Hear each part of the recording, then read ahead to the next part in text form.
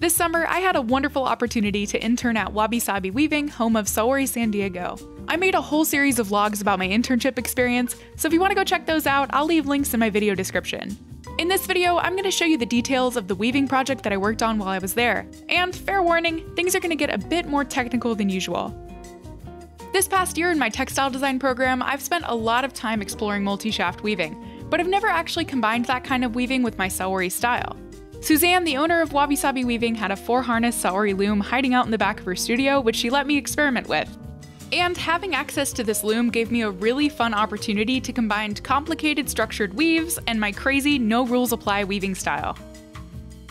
A typical Saori loom, like the one I have at home, has only two harnesses and two pedals, so you can only weave with one pattern that's called plain weave. This loom is different because it has four harnesses and six pedals, which means lots of opportunities for different kinds of woven patterns. But before we get into that, I need to first make a warp.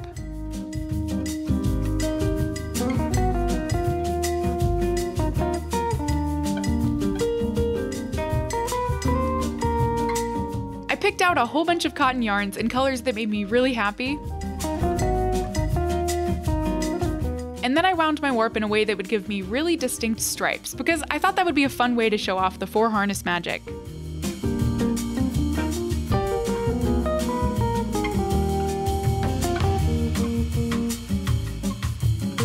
In total, my warp was 6 meters long and 200 threads wide. Then it was time to put the warp on the loom and to figure out my threading. This is where things are going to get a bit technical, so bear with me for a moment. To explain things simply, harnesses are the rectangular frames that hold the heddles. So having a four harness loom means that I basically have four groups of heddles, each numbered 1 through 4, where the first harness closest to me is harness 1, the next is 2, then 3, and then the farthest is 4. In multi-shaft weaving, there are tons of ways to thread your loom, and the pattern that you thread your yarns in plays a role in the pattern that's going to appear on your fabric. Since I'm just playing around, I wanted to keep things really simple, so I went with a basic straight draw, which means that I first threaded a heddle from harness 1, then a heddle from harness 2, then harness 3, and then harness 4, and I just kept repeating that pattern. 1, 2, 3, 4. 1, 2, 3, 4, etc. But here's where I had a chance to mess around, be creative, and make it my own. I decided to specifically explore the concept of taking this really directional, traditional pattern and impulsively throwing in some direction changes. So every now and then, whenever I felt like it, I decided to just go the other way and count backwards just for the heck of it. So my 1, 2, 3, 4, 1, 2, 3, 4 pattern was occasionally interrupted by a 4, 3, 2, 1. Because why not? Hopefully this makes sense. There are literally an infinite number of ways I could have threaded this and experimented with the four harnesses, but messing around with the concept of the straight draw seemed like a really fun place to start. Whew, okay, let's take a break from all the technical stuff and wind some bobbins. So for my weft, I'm using all of the same cotton yarns that I used to make my warp.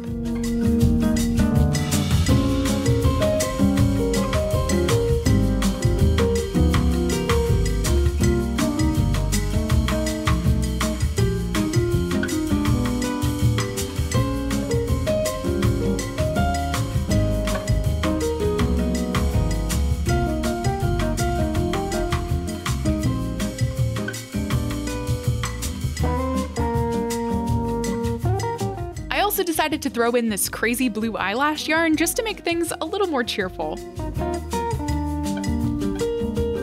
Okay, we're all nice and even and now I can see if my pattern worked. So what I'm gonna do is just weave in a very simple, very straightforward twill pattern. And what that means is that I'm gonna step on each pedal in either ascending or descending order.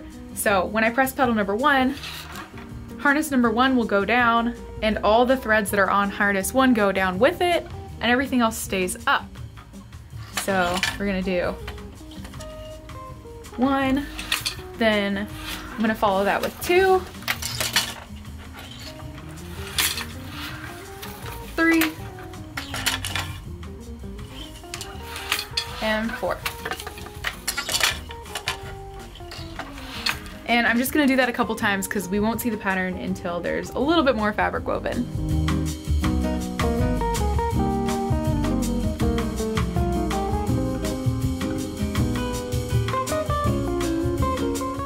Okay, so everything is pretty much working out exactly as I had hoped, which is like a really good feeling. So pretty much I've just been treadling with that one, two, three, four, one, two, three, four pattern. And what that's doing is that it's creating diagonal lines throughout my weaving.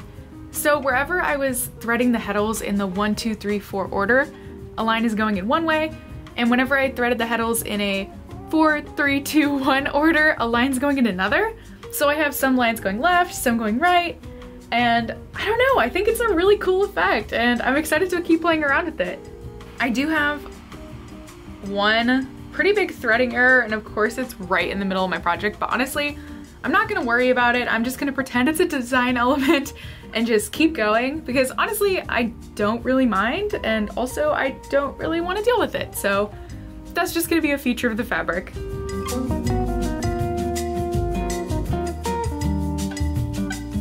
The rest of this weaving, I kept going with the same idea, which is pressing the pedals in either an ascending order, so one, two, three, four, or a descending order, so four, three, two, one, and then changing up my weft colors whenever I felt like it.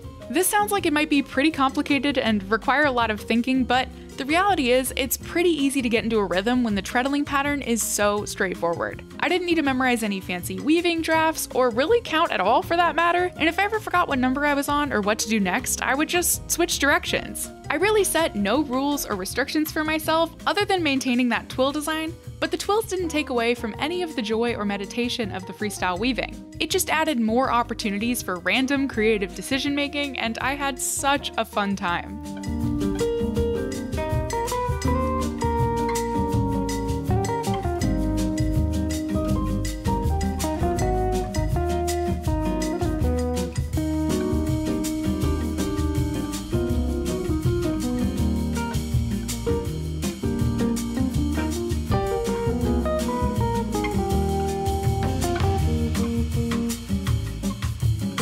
I slowly chipped away at this project over the course of my four week internship, and on my very last day in San Diego, I finished my fabric and I cut it off the loom.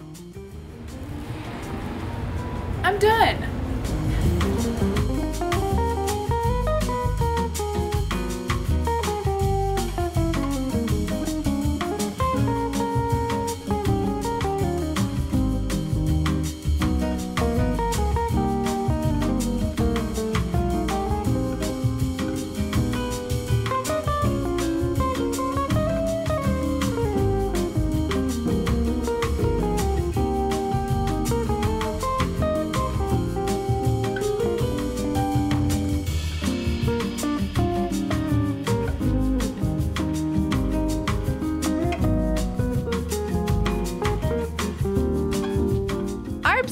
Happy with how this project turned out. I had so much fun combining the technical aspects of multi-shaft weaving and the whimsical, free-spiritedness of Saori weaving, and I made a fabric that I really love. It's both structured and wild at the same time, which is a balance that I really enjoy, and I think that the twills added such interesting design elements to the fabric.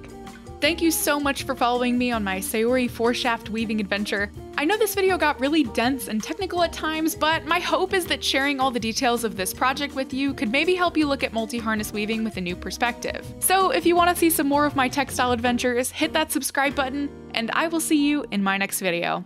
Bye!